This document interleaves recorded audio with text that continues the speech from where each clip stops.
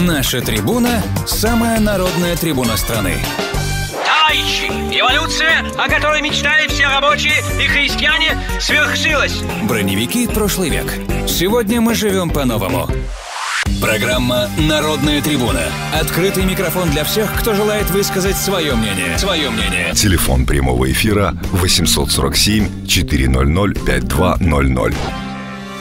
Здравствуйте. Я имею что сказать. А я думаю, что... Кричать не обязательно. Работают все микрофоны. Каждый может... сказал, не высказал, сказал.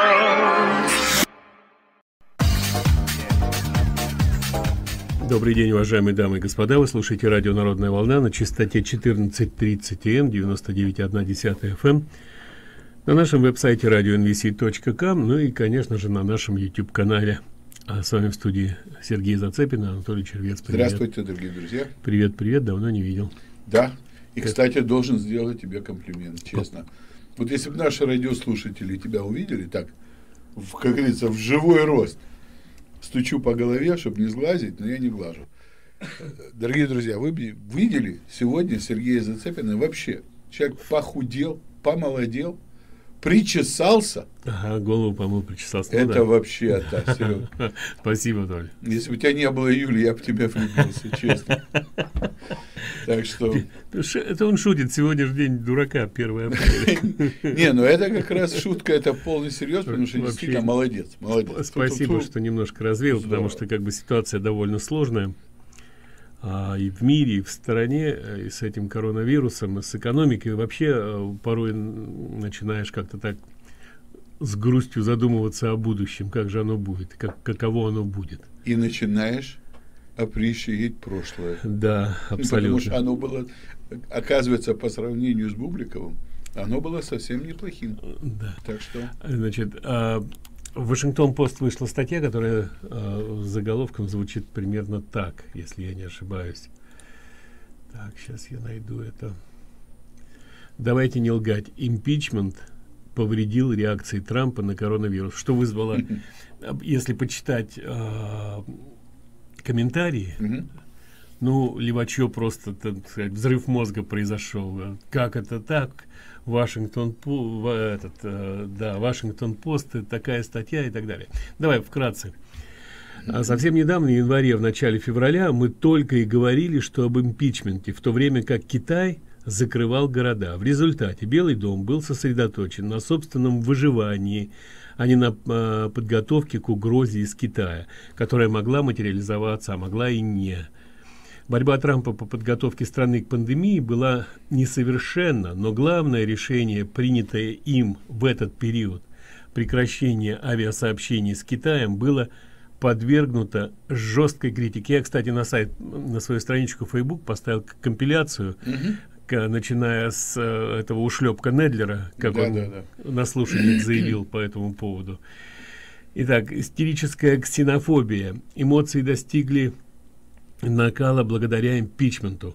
Учитывая, что, учитывая то, что импи, ну, импичеры каждый день называли Трампа королем или диктатором, более жесткая реакция на вирус в январе, феврале могла сыграть против Трампа. То есть они же его все время, так сказать, обвиняли в, в авторитаризме. Ну, да. И если бы Трамп принял какие-то более жесткие меры, конечно бы это все присовокупили к этой, mm а, к, к этому балагану, к этой к шараде. Итак, а, представьте, что было бы, если бы демократы добились своего, и репсы, имеется в виду республиканцы бы, согласились вызвать свидетелей. Весь февраль Сенат бы опрашивал свидетелей и сидел в судах, чтобы заставить некоторых из них давать показания. К концу февраля они бы точно не управились, а рынки рухнули 24 февраля, mm -hmm. когда стало ясно, что Европе и США не избежать пандемии. Что бы сделали демократы в Конгрессе, э, на время оставили бы свою борьбу за импичмент или наоборот усилили бы ее. Угу. Если бы Трамп действовал решительно, в феврале его бы неизбежно обвинили в симуляции кризиса, чтобы отвлечь народ от импичмента. Теперь его обвиняют в том, что он этого не сделал. Ну, по-любому обвиняют. Безвыигрышная ситуация. Ну, да, мы да. находимся в кризисе, который требует национального единства, но как народ мы разделены этого можно было избежать. Это действительно так. До февраля, я не помню точно какого числа, до 5 по февраля, ну, короче, вы помните, в феврале месяце Нэнси Пелоси mm -hmm. под фанфары раздавала этим ушлепкам авторучки с автографом об импичменте, в то время как а, в, в январе, ну, мне там поправляют, я говорю, что в конце января, а мне говорят, нет, 1 марта, нет, 1 февраля, то есть mm -hmm. я сказал, написал там, что 31 января Трамп объявил о закрытии границ Китая, ну, в смысле, mm -hmm. об отмене. Да. Меня поправляют на один день, но это не меняет сути, то есть Трамп предпринял насколько это было возможно в той ситуации безумия, когда демократы только тем и занимались, что пытались, так сказать, объявить импичмент и тем не менее Трамп принял решение, закрыл, что надо отдать, отдать должное, и надо, так сказать, по справедливости сказать, что еще избежали прибытия нескольких тысяч, десятков тысяч, а может сотен тысяч китайцев, которые бы привезли сюда, так сказать, еще этой заразы. Ты понимаешь, Сереж, самое интересное, что дело даже на, на этой стадии, дело даже не в том, было бы сотни тысяч или десятки тысяч. Дело в том, что хватило бы четырех китайцев, которые несут коронавирус, для того, чтобы абсолютно то же самое сейчас произошло. Потому что мы сейчас уже заражаемся не от китайцев, мы заражаемся от своего дебилизма, от своей, как говорится, глупости, беспечности, беспечности от своей вот это желания быть свободным американцем никто мне не будет указывать, что и как мне делать. Ну вот. Давайте попробуем принять звонок. Добрый день, пожалуйста, в эфире. Здравствуйте. Проблема ведь еще была в том, что китайское правительство врало, в наглую врало, и поэтому было очень трудно составить э, как бы правильное определение, что же происходит на самом деле и, и э, что можно ожидать. Поэтому это тоже такой серьезный фактор. Вы, вы Больше того, тоже. когда он закрыл первый раз наш президент э, границы, как его обвиняли в ксенофобии, расизме и во всем прочем. Те же самые люди, которые сейчас его обвиняют, что он не вовремя, так сказать, среагировал. Поэтому этим мерзавцам-подлецам э, падать уже некуда. Они уже на таком дне. А, Понятно. Спасибо, вы абсолютно, вы абсолютно правы. К сожалению, не только китайское правительство скрывало истинное положение вещей, но и Всемирная организация здравоохранения, которая mm -hmm. была, которая наверняка куплена с потрохами китайцами и бывший министр там из откуда он из Кении, Кении да. да, который возглавляет эту организацию. Я смотрел в этом видео, кстати, тоже, где он говорит о том, что Китай это все здорово, они они эталон борьбы, а на самом деле Китай скрывал истинное положение вещей. Вчера Карлсон Такер, по-моему, вчера mm -hmm. в программе говорил о том, что мы так до конца не знаем, если, если это было заражение от летучей мыши, которую купили и съели на этом рынке, то говорит, почему они открыли этот рынок вновь? А вообще есть какие-то документы, какие-то выступления, какие-то статьи, письма, говорящие о том, что вокруг э, этого места в Хуане находятся два института. Один институт вирусологии и другой какой-то подобный институт. И что те и другие работали на, этот, над вирусом а, хоршу mm -hmm. то есть вот эта летучая мышь, да, которая да, называется да. хоршу. Да. Ну, ты понимаешь, опять же, кого бы, то есть все зависит от того, кого ты слушаешь. Да. Значит, если ты слушаешь, даже многие наши э, ученые говорят, что нет, ну мы посмотрели, мы э, открыли этот геном вируса, и в принципе понятно, что этот вирус не мог быть создан в лабораторных условиях. Это говорят одни наши ученые. Другие наши ученые говорят, нет, ну, в принципе, как? Он мог быть создан, но может быть другая модификация. То есть, понимаешь, сейчас сегодня пиарятся все, в, кому не лень. Абсолютно. Поэтому, э, я не знаю, узнаем ли мы когда-либо правду, но, во всяком случае, сегодня говорить но однозначно то, что когда уже в Китае было известно, что вирус передается от человека к человеку, это скрывалось. Конечно. И, э, и в эту же дуду пела Всемирная организация здравоохранения. Ну а наши сейчас вот э, новотрамперы, демократы, вот Трамп, мол, дескать, не сработал. Да, слушаем вас. Не, не прислушивался, не прислушивается к специалистам. А уж каких еще специалистов, как глава Всемирной организации здравоохранения, Нет, ну, который у нас же есть специалисты, которые там с высшим экономическим там, да, да. юридическим Да, да, образованием. да, да, да. Ну, вот. Добрый день, пожалуйста, в эфире. Добрый день. Добрый. Говорите, говорите, пожалуйста. Да, вы же понимаете, что как, как Китай перенасыщен, пе- там на- на- народу столько, и жить уже в принципе негде. И там стариков навалом, которые в принципе это просто балласт, отработанный материал. И мы тоже к этому подходим. Мне там 60, кому-то 65. Мы близко подходим. Тоже скоро будем то же самое. Когда в нашей стране так, как бы якобы говорят, что не, пенсии не будут получать там, через 20 лет, то это очень удобно. Раз вирус убивает пожилых людей в основном. А 8 Вот это 90% пожилых людей. Ну так мы потеряем какую-то часть пожилых Понятно, спасибо большое. На самом деле вы не совсем правы, потому что, как выясняется, вирус косит не только пожилых людей. Ну и молодых, да. И я сегодня разговаривал со своим приезд другом, с товарищем, э, который живет в Сибири. И он как раз мне сказал, что наоборот, у них как раз там люди до 45, те, которые уже умерли от этого вируса, это люди до 45 лет.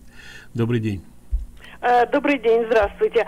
Спасибо за передачу. Вы знаете, а сегодня я слушала Раша Лэмбо, есть такой, да, вы все знаете, и он, он говорил, что вот это генеральный, эта женщина, я забыла ее, как ее звать, Доктор она Бёрд? э, вчера, да, он говорит, она хотела сказать что-то позитивное, и она говорит, что просто ей не дали. Она какие-то имеет позитивные такие вот эти и с графиками, и со всеми позитивную информацию, но ей не дали, потому что он говорит, что им надо это вот делать, вот этот хаос, и еще все, все, все, все, еще больше, еще растет, и больше.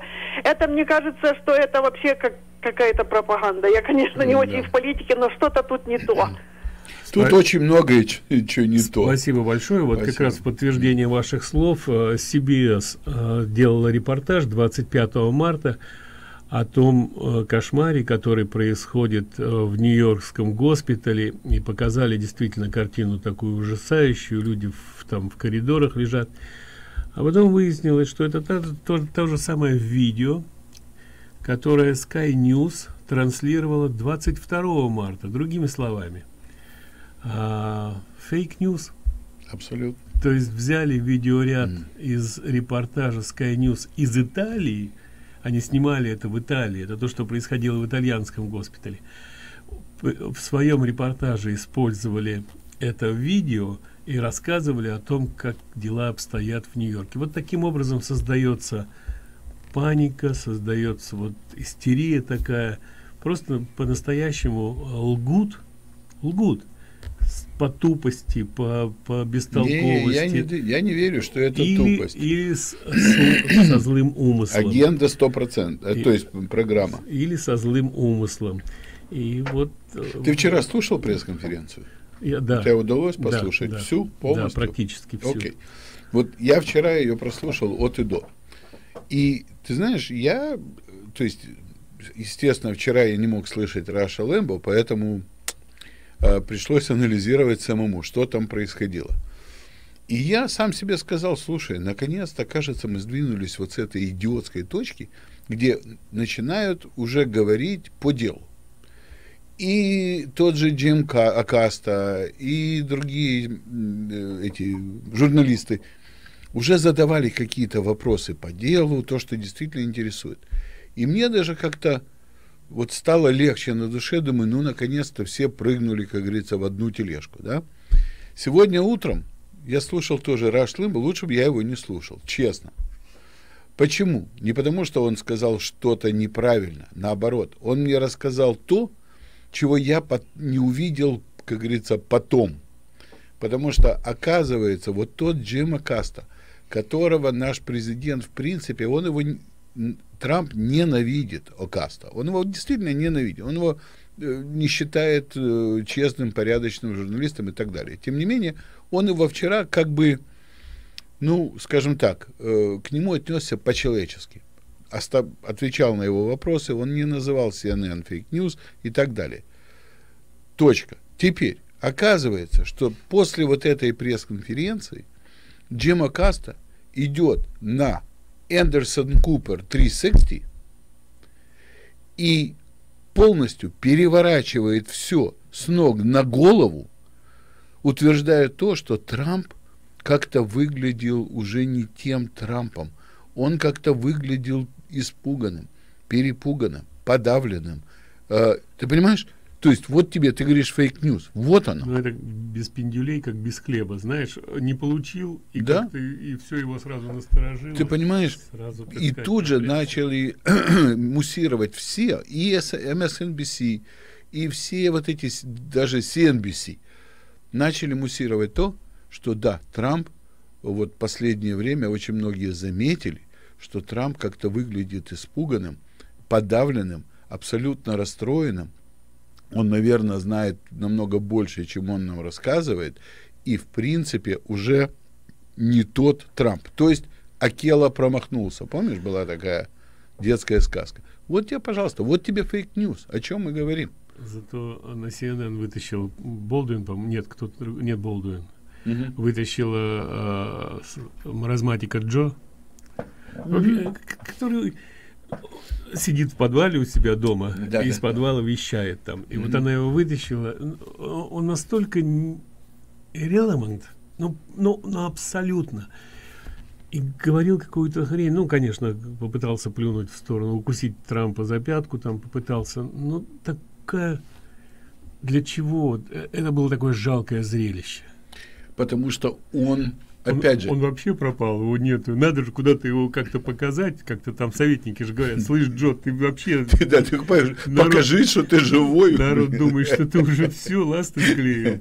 А тут и он вышел, и, и вот я так смотрю и думаю, там наши друзья с высшим образованием рассуждают, что они голосуют не за партию, не, за принадлеж... не, не, по прина... не по партийной принадлежности, а за человека, за его конкретные, так сказать, дела. Угу. Вот у нас два кандидата будет Джо, если доживет, дай бог ему здоровья ну, 120, да, да, да, да, это... и Трамп. И, и вот ну, перед кем человек, э, наш оппонент, выпендривается? Вот будет, вот тебе два кандидата. Вот, Конечно. ну, кого ты будешь выпендривать? Да, ну, Сереж, ты заметил, это, это система демократов.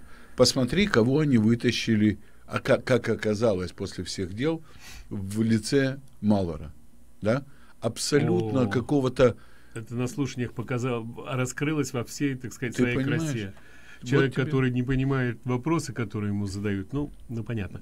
Давай попробуем принять звонки. Давай попробуем. Добрый день, вы в эфире. Доб... Э, слушаем вас. Здравствуйте. Я сегодня получила имейл, а, значит, из а, Вашингтона а, так сказать.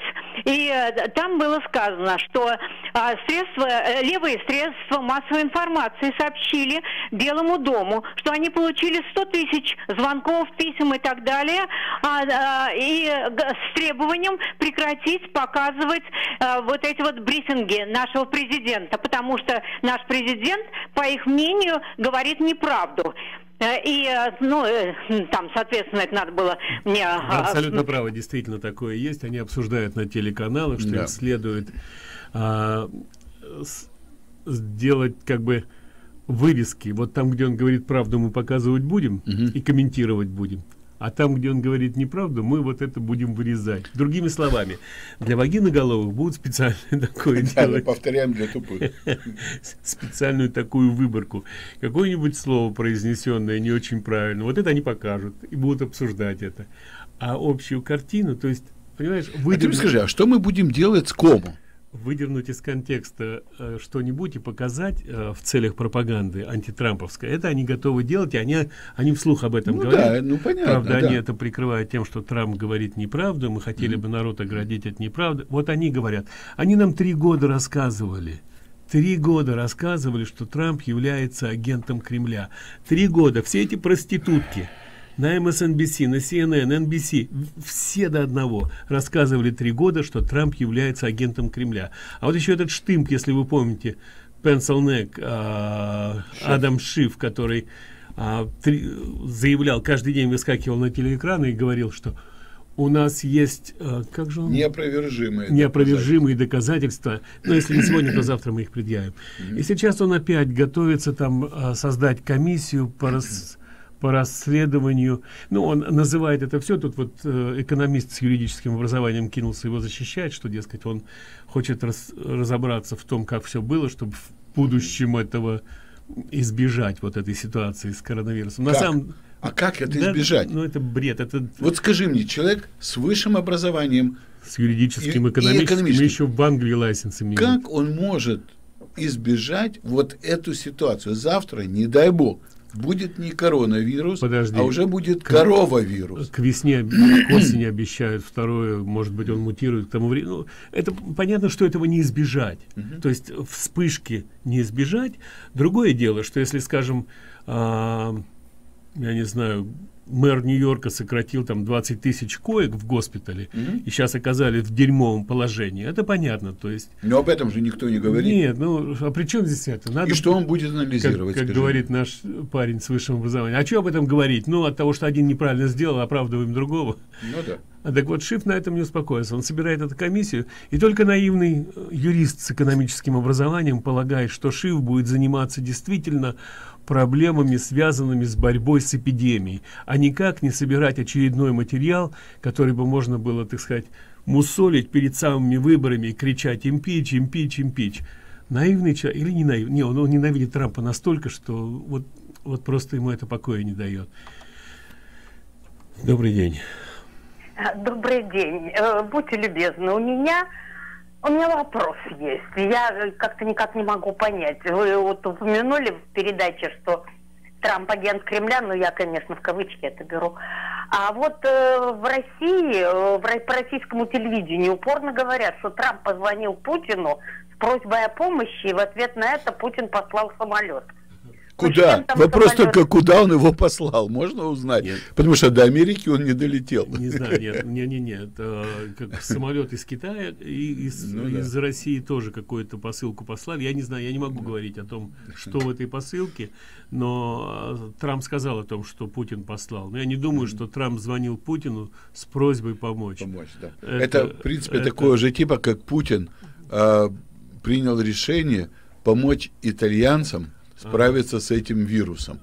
При Да. том, что его никто не просил, но он туда якобы заслал какое-то количество вентиляторов, которые не работают, то есть абсолютно useless, ну так по- по-английски, или бесполезные.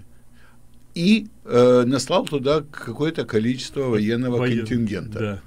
То есть вот это все, что Путин, чем он А, помог. А нам тут говорили о том, что, а вот вы говорите, что мы здесь такие прогрессивные, а вот Италия попросила помощи у Путина, а не у нас. Ну вот, Ну, я не знаю, насколько верить, так сказать, публикациям, которые в соцсетях, но там якобы итальянцы сетуют, что 80% этой помощи никуда не годится. ну да. Ну, не знаю. Значит, э, еще. э, Трамп сейчас ведет переговоры с Саудовской Аравией и с Россией, потому что ситуация на нефтяном рынке просто катастрофическая. Нефть стоит 3 копейки, что на самом деле э, может убить нашу нефтяную, нефтедобывающую промышленность, отрасль. Потому что, ну, сейчас, правда, предпринимаются меры, очевидно, будет поддержка какая-то, будет э, помогать. Ну, ты понимаешь, вот тут Но- я тебе скажу, я честно на эту тему думал, я не знаю, какой процент нашей добываемой нефти поступает на рынок, на общий, но, по крайней мере, то, что мы обеспечиваем сами себя этой нефтью, а, я не думаю, что у Цена- нас такая большая катастрофа, ведь Нет, ну, понимаешь, Россия борется за продажи, мы-то понимаешь, когда цена нефти 20 долларов, Да. а добыча 40 долларов Да. или там 30 долларов, да. то это проблема, потому что нефтяные... для тех, кто эту нефть добывает, чтобы продать. Совершенно верно. Вопрос, Так не важно, какая часть нашей нефти Толик. добываем? Толик, а нефте- не- а, те, кто добывает эту нефть, они Да. ее продают, а Мгм. потом те ее перерабатывают и продают бензин, керосин и так далее. То есть это все цепочка такая. Так. И там добавляется цена и так далее. Не могут они добывать нефть, они же ее Ниже себестоимости, я Понимаешь? понимаю. То есть они должны заплатить за баррель 40 долларов, скажем так, чтобы добыть эту баррель нефти. А продать они ее могут за 20. Мгм. Вот это проблема. То есть Окей. низкая цена на нефть, это проб- ниже определенного уровня, это серьезная проблема. Ну вот мне бы было интересно. Ну вот так вот сейчас э, Трамп ведет переговоры с Путиным и с принцем Саудовцем, mm-hmm. потому что это из, из-за их, так сказать, косяков все это рухнуло вниз. Но после их он... переговоров нефть пошла вверх аж на 88 центов и дошла до цены 20 долларов 88 центов. Давайте, давайте мы сделаем небольшой перерыв, переведем дух, потом вернемся, продолжим. Ну что, возвращаемся, примем звонки. Давай попробуем. Добрый день. Да. Да, говорите, пожалуйста. Здравствуйте. Здравствуйте. А, я хочу сказать несколько вещей. Одно, значит, один вопрос риторический. А, мой вопрос там, демократам и умникам всяким. Кто может опять вот этот сизифов труд сделать, э, э, вкатить вот этот камень экономики, без, безработицы прекрасной и все прочее лучше, чем Трамп, я уж не говорю о Байдене и даже, даже даже, даже Кома, предположим, если бы, никто, кроме Трампа, не может это сделать лучше и эффективнее. Это непонятно только ну, идиотам. Окей. Это риторическое такое замечание. А что я хотела сказать? Вчера, к моему удивлению, на Наксоновской передаче, на Дэвидсон радио демагога Наксона, э, э, выступал человек, который рассказал о том, какова реальная карта заболеваний Нью-Йорка. И вот что он сказал. Э, значит, первое место, ну, как бы три самых, э, э, а, ну, самых плохих места с, с большим количеством заболеваний и прочее. Значит, это Бруклин, потому что там страшно много, ну, есть такие дешевые, ну, не дешевые, не знаю, набедренные квартиры, которые заполнены нелегалами, mm-hmm. я вам так и сказал, нелегалами. Вот, э, и, и там по 20 человек их живет. И они забили, вот эти все, кого я сейчас буду перечислять, три эрии в Нью-Йорке, они забили очень много места в больницах, emergency и прочее. Mm-hmm. Потому что их поступает как бы вот по, как бы 20 человек с одним адресом, понимаете? Это понятно, что это нелегалы, которые там как бочки. Им не то, что руки лишний раз помыть, у них очередь в туалет. Это раз, первое. Второе, Бора Парк, где, значит, э, ну... Э, еврейские, вот, да, еврейская община. люди. У них да. очень много детей, дети все гуляют друг с другом на улице, все друг друга перезаражали, семьи огромные, угу. дети принесли это и взрослым и так далее. Значит, вот они тоже эта группа. Да. И третье он назвал Квинс. Да. Тоже. Там тоже, говорит, очень много вот таких квартир, которые снимают э, испаноязычные Э, там, не знаю, нелегалы или, или может быть, временные рабочие, я не знаю, mm-hmm. что-то в этом роде. Понимаете, вот это очень показательная картина. И я хочу сказать, что, э, что э, вот этот месяц э, обрушил массу мифов, совершенно мифов, э, мифов о потеплении, Э, э, так сказать, э, о, климатических изменениях. Э, э, второе, он разрушил вот эти все идеи, как замечательно глобализация и прочее. То есть он обрушил многие наши мифы и мифы наших, так сказать, ну, ну, недругов, скажем, там, демократов или там mm. либералов, в кавычках, в кавычках. Я либерал, я считаю нас всех вот с вами либералами них. Вот это я хотела сказать. Спасибо вам огромное. Спасибо. Спасибо. Ну, да? на самом деле не мудрено, а, что там, где такое количество нелегалов живет с такой скученностью. Вообще Нью-Йорк сам по себе скучный очень город. Mm-hmm. Я помню, когда мы жили там в билдинге э, в Бруклине, э, там наш дом стоит, и как-то окно вот вот да, так друг другу в окно. Да. Скученный город, поэтому, конечно, там все довольно сложно, а при, причем учесть, если учесть, что сократили количество коек в госпиталях, mm-hmm. а, и как бы о другом забота. Они же ведь хотели, хотели быть такими добродушными, радушными, принимать всех как можно больше, независимо от статуса, от, на, так сказать, от места проживания, от места рождения. Э, такие очень сердобольные. Добрый день, вы в эфире. Здравствуйте, уважаемый Анатолий и уважаемый Сергей. Это Марк из Рыдайленда. Здравствуйте, Марк. Здравствуйте. Можно вам задать вопрос, если, если время позволит? Давай попробуем. Э, Анатолий, э, вы, наверное, слышали э, про вот этого доктора Зеленко из Upstate Нью-Йорк, Да. который, который тритает э, этим средством против малярии. Да, да, да. Вот. И, значит, было сказано, что у него есть какие-то положительные результаты, хотя непонятно, как он, э, или этих пациентов, которые он тритал, или не прошли тест на коронавирус. Мгм. Вот. И после этого я слышал комментарии от Клома. Он сказал, что он, он, он не даст разрешения пользовать, пользовать этот метод. Как вообще это, такое может быть? Это может быть почему? Потому что, опять же, каждый штат, если он не претит Конституции Соединенных Штатов, имеет право принимать решения для себя. Поэтому другой разговор, правильно это или нет, это уже второй вариант. А вот э, как он может, да, он имеет на это право. То есть каждый штат может, может решать э, путь тритмента как, э, чисто, чисто по, по своему желанию. Дело не в желании. Смотри, Марк, э, я просто ну, так быстренько, вкратце объясню. У нас есть Конституция, которая м, распространяется на все штаты, э, как говорится, все вместе, да? Но вот те правила, которые не прописаны Конституцией, штаты имеют право принимать законы в том случае, если Конституция этого не запрещает. Поэтому э, также и Нью-Йорк, точно так же и Калифорния, любой губернатор штата, если это не запрещено или не прописано в Конституции, они имеют право принять такой закон, но только для своего штата. Поэтому в Нью-Йорке, да, Кома имеет на это право. Я все понял. И еще такой момент.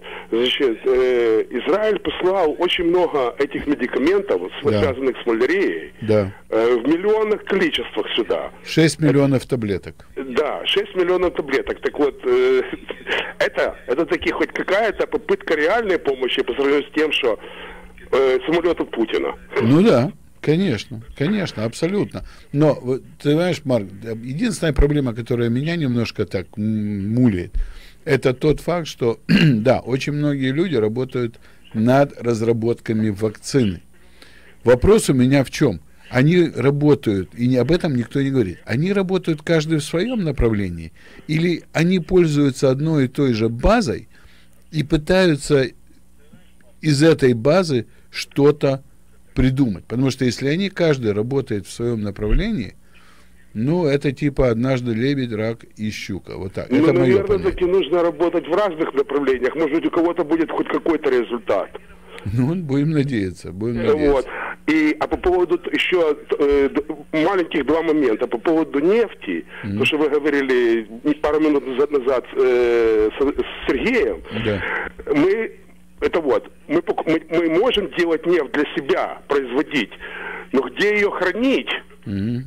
Вот это, вот это очень большая проблема, потому что э- место для хранения, оно не безграничное. Ну да, да. Резервуары, Вот. Это, абсолютно, это да. очень существенный момент. И еще один момент, если можно, по поводу того, что вы говорили э, с Алексеем Орловым в вашем- в вашей дискуссии, вот, по поводу боли в душе э, за Кассио Кортес и всей этой банды. Вот, ну, вы поняли, за что, про что Да, да, это да, вот то, да. что было в предыдущей передаче. Да. Вот. Так вы сказали, что душа болит, и, и это вот, и, и может быть социализм. А Алексей сказал, это все равно Америка.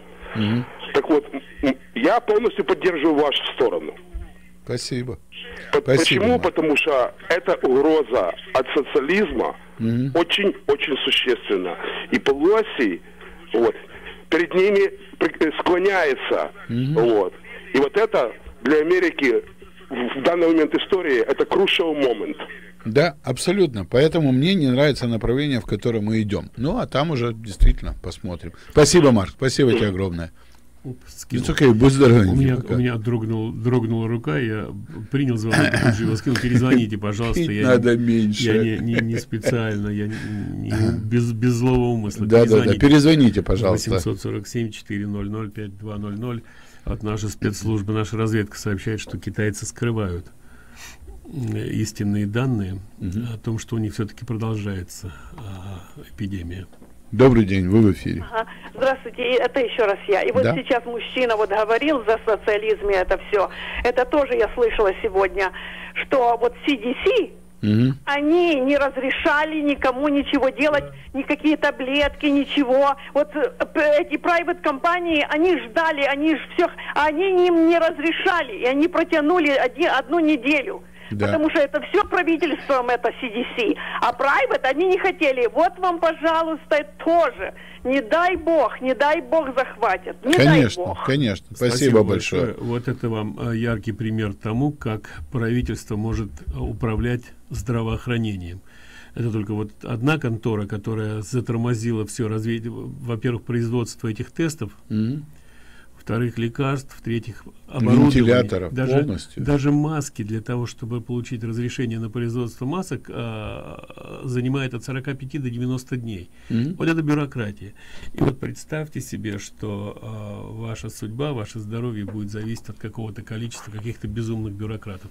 Добрый день, вы в эфире. Здравствуйте. Здравствуйте. Уважаемый Анатолий, вы знаете, в ваших спорах с а, Орловым я чаще всего как бы поддерживаю его сторону. Сегодня я полностью на вашей стороне.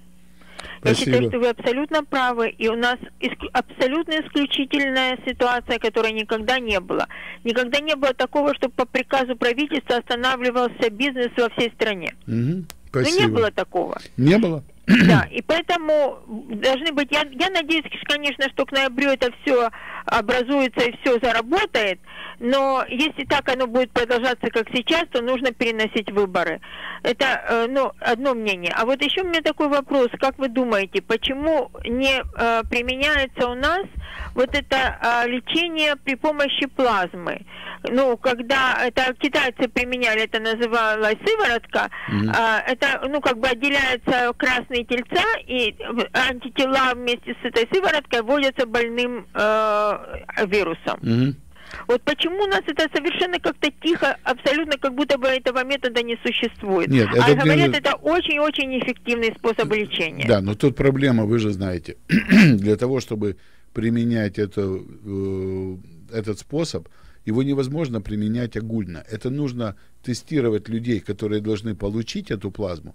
Нужно удостовериться в совместимости или не в совместимости, потому что отторжение, результат отторжения может быть намного печальнее, чем вообще ее туда не вводить. Вот поэтому мы очень, как говорится, осторожничаем с этим. То есть речь идет о том, что э, человек, который был заражен инф- э, вирусом инфекции, э, выздоровел, у него антитела появились, э, образовались, то есть иммунитет. И ну, есть такой метод, ну, наверное, Нет, не метод-то есть. просто, Вопрос да. или... Добрый день. Добрый день. Да, здрасте. Вот вы говорите нефть. Вот мы, я когда приехал, был галлон, ну многие поприезжали, 90 центов был галлон. Да. И уже 30 лет прошло. И что, технологии стали хуже? Наоборот, за 30 лет они ушли вверх. Поэтому себестоимость должна добычи нефти, наоборот, меньше. И бензин должен дорогать, а он наоборот. Это Всё наоборот. понятно, сейчас попробую объяснить. Ну да. Значит, э, нефть, которая лежала на поверхности, которую добывали обычным бурением э, с по очень низкой себестоимости. Сейчас э, так называемый фрекинг, или разрывной метод бурения. А это совершенно новая технология, не так давно освоенная и применяемая только у нас, может быть, еще в Канаде. И себестоимость этой технологии, они добывают нефть, которую раньше добыть было невозможно старыми технологиями, старыми методами, дешевыми. Э, Нефть, которая сейчас добывается, ее добыть невозможно, поэтому и при- придумали, создали новую технологию, новый метод добычи нефти. И, к сожалению, себестоимость этого метода значительно выше, чем э, добыча той нефти, которая лежала на поверхности, когда ткнул, лом воткнул и вдруг фонтан нефти забил. Сейчас немножко все иначе. Да. Добрый день. Добрый день. Здравствуйте. Здрасте. Раз уже зашел разговор о вашей беседе с э, э, предыдущим товарищем э, на предыдущей передаче Да, да, да. по поводу э, социализма. Так он очень храбро перечислял и Рузвельта проделки, и все остальные проделки, но он не сказал, что все эти дела оставили неизгладимый след на истории страны. И что мы, он сказал, долго нужно идти, чтобы разрушить страну. Да, уже очень долго идут для того, чтобы разрушить страну. И сейчас это особо серьезная ситуация. Так что меня удивляет, он очень толковый человек, и он так легкомысленно обо всем это, этом говорил. Ведь это все путь к разрушению страны. Разве Рузвельт не начал путь построения социализма, а потом Джонсон и же с ними? Да, да, да, да. Вот. Спасибо Поэтому, большое. Толя, вы абсолютно правы он, он просто, я не знаю, э, не, не понимает, что ли, что все это и были этапы разрушения страны. Конечно, эту великую страну не так просто разрушить. Да, но зачем... Но ничего нет вечного под луной. Да, зачем давать возможность пытаться это сделать? А Спасибо как большое. Конечно. Спасибо. И сейчас, сейчас очень тяжелая ситуация во всех направлениях. Конечно, большая опасность, очень большая. И только если Трамп еще останется, не знаю, сможет ли он спасти, но затормозить, я думаю, что он сможет. Спасибо большое. Да. Спасибо. А, последнее время тут в соцсетях обсуждается тема, как должен поступить Трамп и правильно ли делают, что на местах каждый штат для себя решает, а, какой режим ограничений ввести. Одни предлагают, чтобы, вернее, выступают за то, что федеральное правительство должно объявить строгий-строгий карантин. Такой, э, как это называется, даже не знаю. Типа, это называется э, чрезвычайная ситуация. Типа, типа маршал-ло одни предлагают ввести, да. а другие говорят, что, ну, как бы это не совсем так, потому что одно дело ситуация, скажем, в Нью-Йорке, катастрофическая, по сути дела, а другое дело там в каких-то штатах других, где буквально несколько человек заболевших или там и как бы говорят, что а, ну, в общем, соблюдается принцип, федерали, федеральный принцип, федерализации, то есть каждый штат решает для себя, какие меры им при, при, при, принимать в отношении карантина. Ты как думаешь? Я думаю так. Те, которые считали в свое время, что федерализация превыше всего, они сегодня об этом очень жалеют. Почему? Смотри, посмотри на Техас, посмотри на Луизиану. Луизиана в свое время вообще не имела никаких случаев. Вдруг, и Техас тоже, вдруг Луизиана, для тех, кто не знает географического положения, это два соприкасающихся штата. Луизиана имеет общую границу с Техасом на э, востоке.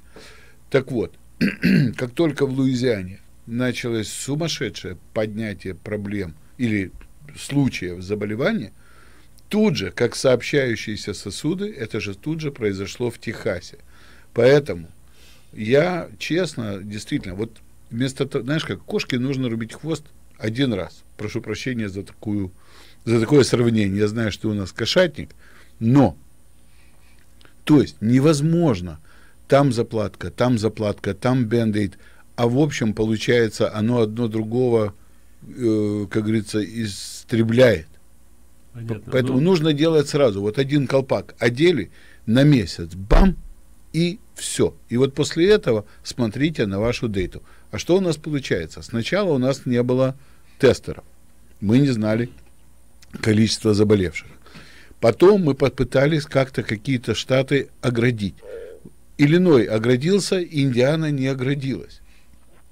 У нас тут чертова туча этих э, случаев, особенно Ку-Каунти, которая граничит на юге с Индианой, но Индиана-то не закрыта, и мы себе спокойно катаемся. Кто-то работает в Индиане, кто, понимаешь? Я только хотел по поводу Луизианы. Я надеюсь, что ты знаешь, что это Трампа вина. А, ну, конечно. Сто процентов, потому что Трамп не сказал, во-первых, губернатору Луизианы, во-вторых, не сказал мэру Нью-Орлеана, mm-hmm. Что Марди-Гра проводить нельзя. Ага. А у самих башка не, не фурыжит. У них не для этого голова, они демократы. Ну да. И вот потому что Трамп не приказал им и не сказал, не подсказал, что это может хреново кончиться, угу. парад, который вы там устроили во время пир, во время чумы. Причем середина февраля, когда это все только-только зарождалось. Причем э, мэр э, Нью-Орлеана выступала ведь по телевидению и прямо сказала, что это Трампа вина, потому что он не, не, мне не сказал, чтобы mm -hmm. я отменила этот парад. Mm -hmm. Да. А, вот. Точно так же, как Трамп это вина компании по производству сигарет, которые не предупредили, что это вредно для здоровья. Давай, может, еще успеем звонок. Добрый день, вы в эфире. Это я в эфире? Сейчас Это вы в эфире. Говорите, пожалуйста. Спасибо. А, Александр из Нью-Йорка. Здравствуйте, Саш. Здравствуйте.